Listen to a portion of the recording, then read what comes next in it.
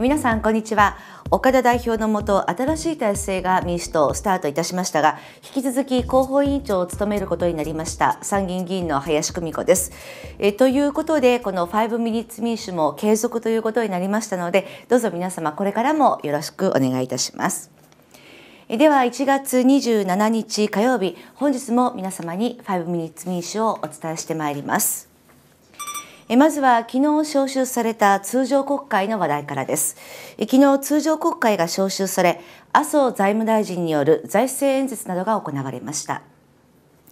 第189通常国会が昨日召集され、天皇陛下をお迎えしての開会式が行われたほか、麻生財務大臣による財政演説が行われました。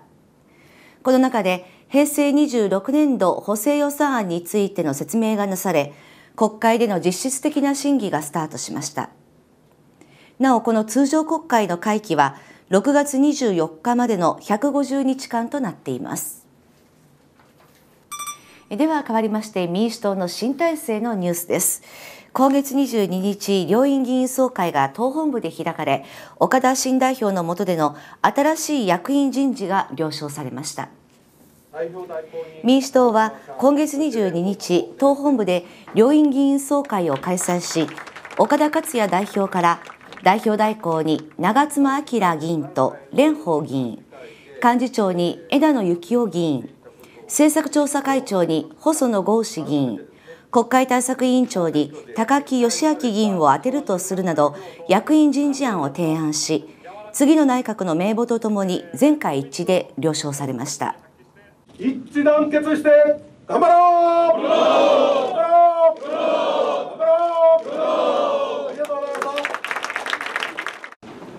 翌日には早速執行部の幹部がともに国会内の各党の控え室を回り挨拶を行いましたでは次に民主党の次の内閣が今月23日に開かれ政策の議論も実質的にスタートしました。今月23日岡田新体制となって初めての民主党の次の内閣が開かれ冒頭岡田代表がしっかり議論を尽くして分かりやすい政策決定にご協力いただきたいと挨拶しました。会議では細野政策調査会長が2014年度補正予算案や関連法案に関して各部門会議で検討するよう要請したほか民主的な運営と決定ができる場ということを両立させる政策調査会にしていきたいと決意を述べ実質的に政策の議論がスタートしました。えさて最後に過激派組織いわゆるイスラム国による法人人質事件では拘束された法人の一刻も早い解放が望まれていますが民主党でも対策を協議すべく情報連絡会議を設置したほか外務省などからヒアリングを行いました。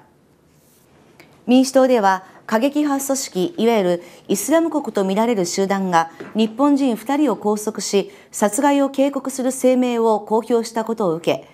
今月21日岡田代表らが出席して日本人拘束事案に関する情報連絡会議を設置しました。この中で岡田代表は大変卑劣な行為であり、犯人側に対して非常な怒りを覚えている。我々としては政府が適切にやっていただくようにしっかりと後押ししていきたいと述べました。また今月26日には民主党の外務防衛合同部門会議が開かれ、外務省や内閣官房など政府の担当者からヒアリングを行い、今後の対応などについて意見が交わされました。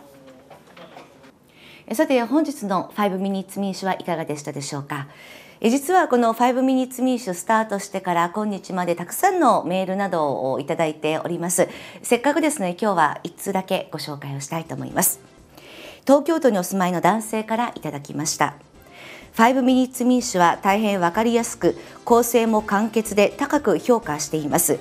継続は力なり良いことを積み上げていくことにより党のマネジメントの厚みが増しますというふうにいただいています。どうぞ皆さんあのたくさんのご意見ご要望お待ちをしておりますのでこちらまでお寄せをいただければと思います。さあいよいよ国会論戦も本格的に始まります。次回は今週金曜日30日にお目にかかります。それでは本日の5ミニッツこの辺で失礼いたします。